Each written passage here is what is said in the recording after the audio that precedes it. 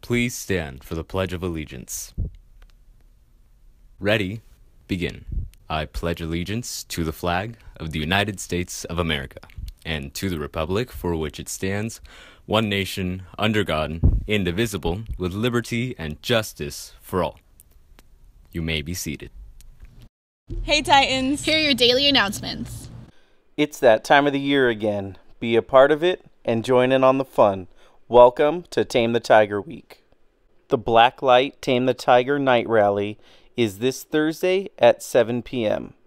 Last year's rally was fun.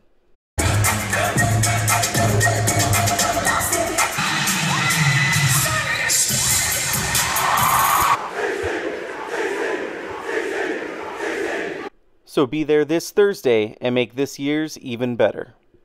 And finally, don't forget about the home football game this Friday against Elsinore.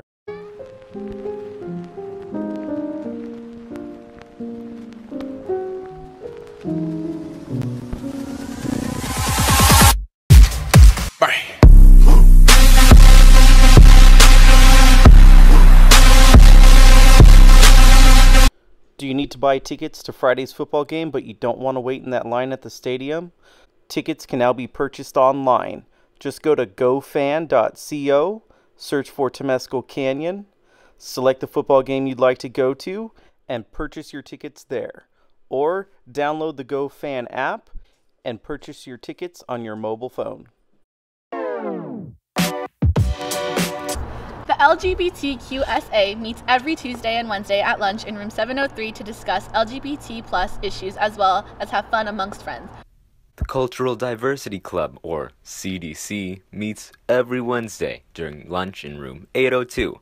The Cooking Club is meeting this Friday at lunch in room 810. Did you know that approximately one in seven men will be diagnosed with prostate cancer during their lifetime?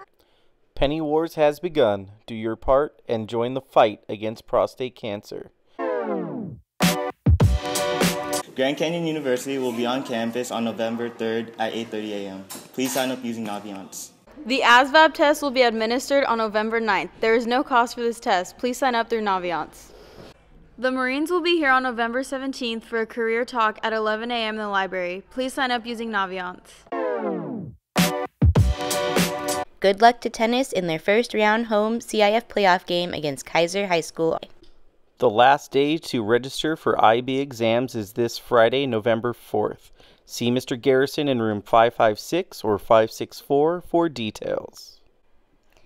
Yearbook would like photos of you that are Halloween based with your friends from TC, either at Halloween parties, out trick or treating, at haunted mazes, or anything Halloween related. Please email your photos to Temescal Canyon Yearbook at gmail.com.